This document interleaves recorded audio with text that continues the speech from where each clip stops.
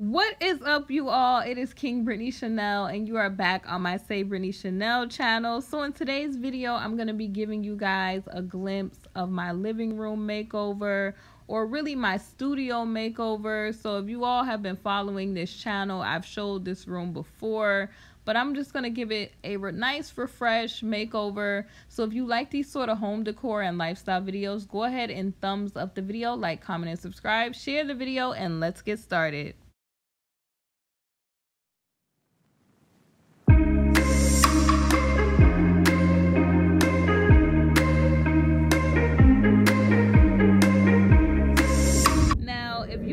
Been following my channel, you guys know that this particular room or this office kind of living room is my YouTube studio area.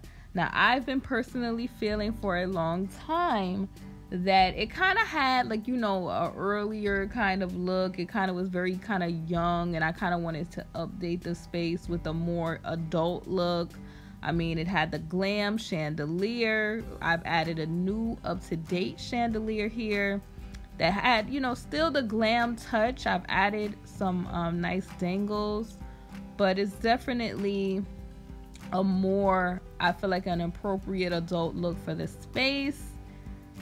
So I'm kind of showing you guys things that I've added. Let's talk about what we've added here the main point of the room you can see that i updated this wall. We've talked about in prior videos about accent walls how they can you know really make a wall stand out.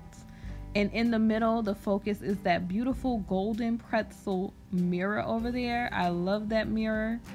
And i updated the lights from the glam lamps to black lamps but i also spray painted those. Those were like a white color before and I kind of showed you guys those lamps in another video but how beautiful is the new shandy that I put in this space you guys. In here I had like you know that glam super glam chandelier in here and I just totally had to get that out. I wanted a more restoration hardware pottery barn look for my home.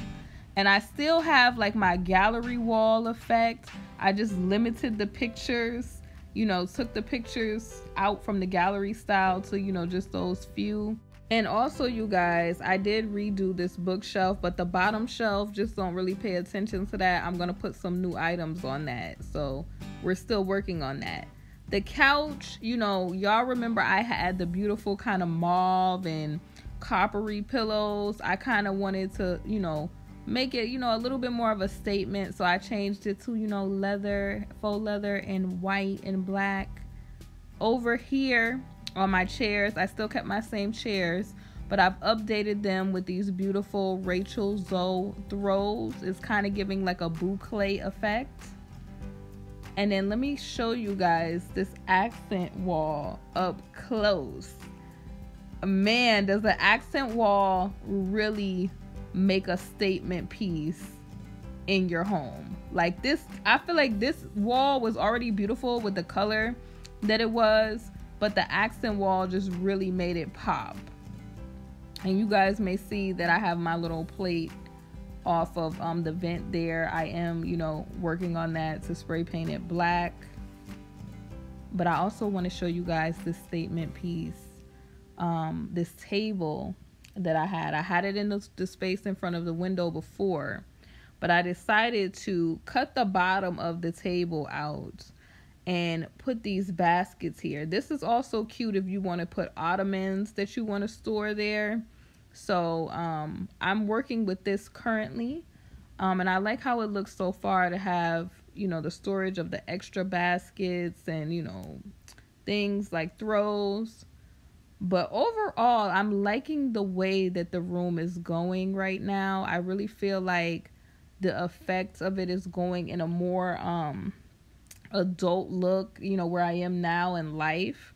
Not to say that my other studio set wasn't cute before, but you know, I feel like as you design, you should have style elevation. You should see like the changes in your home decor.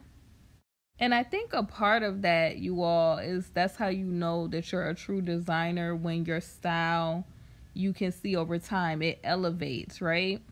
So I also wanted to talk about look at the beautiful statement piece of this new glass table.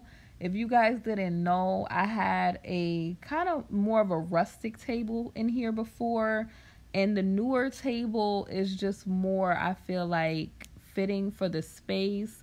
It still has elements that are kind of glam elements, but it's kind of toned down. And I also on the table have, you know, I put my beautiful little candle holders that are definitely RH Pottery Barn inspired. Y'all know I'm all about that. Um, but I also like how I used a lot of things that I had, and then there are some things that are new that I've added to the space. I'm still waiting for a few more things to come in to add to the space. But I feel like that's what I like about designing. Over time, you know, you kind of figure out how to elevate what works for you. You know, is it Tchotchke overload? Like, even with my bookcase, I felt like my bookcase before, it was beautiful, but I felt like it was doing a lot but at the time i liked that at the time but my style elevation now is yeah so at this point of my design style i'm not really more um so into the tchotchke overload. Um and that's why like if you guys see the other video where i did my first bookcase decoration it was like tchotchke overload. And i'm like at a place now you guys tell me if you've been through that in the comment section where you just you know, you like what you like, but you don't want Tchotchke overload. That's where I am now. You know, I'm about using things that I have, and if it doesn't have any use, I got to get rid of it. But overall, I feel like with the updates to the space, it's still it has the same effect of what I wanted to go for, like my same color scheme with you know the color of the wall, the mauves, the golds, and things like that. And it's giving you know the glam elements too, as far as the new Shandy but not in the the way that it was, you know? Like the other chandelier that I had was very glam. This one is also now like a RH kind of it's a luxury form of glam instead of like a, you know, a gaudy form of glam. And I've added the elements of the dangles from my other shandy, which I'm going to put in another space. But also I wanted to create, like I said, I like to create a lot of hygge moments, like coziness in my house. So that's why you guys see a lot of the throws and things where you could just cozy up wherever you are. And I feel like this is going to really make my workspace, you know, or my girl cave a real kind of pleasant place to be for me to, you know, study, read, work on things as far as like content for the channels and different things like that. And just really be able to elevate, you know, my content and things in style. You guys let me know in the comment section below do you like the updates that i've made to this space? Um and definitely i will be updating you guys you know on the channel with other home decor renovation projects because we have so much in the works. So if you like these sort of videos definitely subscribe and check out my home decor playlist so that you don't miss out on the updates and things that i'm doing to my home i hope you guys enjoyed this video Definitely tell me what was your favorite part of the updates to this living room or my girl cave studio space. Leave a comment below and I will see you soon on the next video. Thanks so much for watching.